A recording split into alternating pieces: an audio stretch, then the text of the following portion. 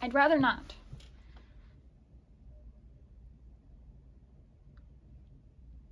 Fine. If you really have to know.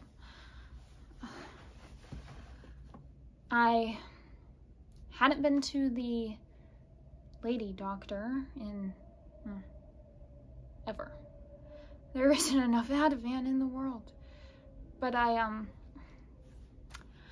I started having symptoms and I, well, Elliot threatened to call my parents. Can you imagine my dad hearing about my female troubles from my boyfriend? So I finally went and the doctor, she, um,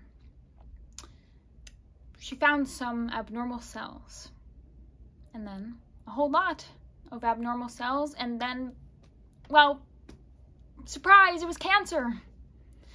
She told me I had to have it all out. Cervix, uterus, ovaries, the whole shebang. But uh, really, I'm fortunate. I'm alive, right? Cancer free so far. And uh, Elliot stayed by me while I recovered from surgery. I'll give him that much. But, um, he wanted children.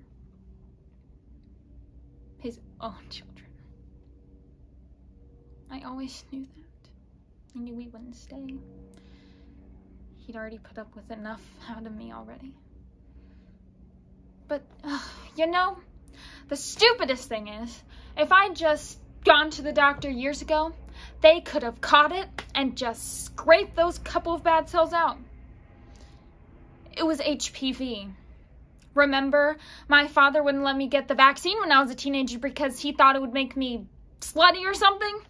Yeah, well, thanks, Dad. No biological grandkids for you.